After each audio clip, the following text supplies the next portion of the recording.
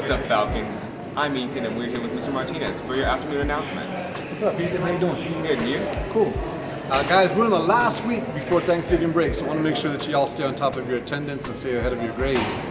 You want to go into the Thanksgiving break not having to worry about anything that's due.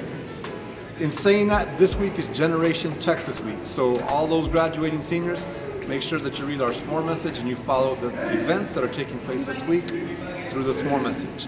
And then finally, we have four weeks testing. I realize that this is the fifth week of school, but you guys got to make sure that you pass those exams.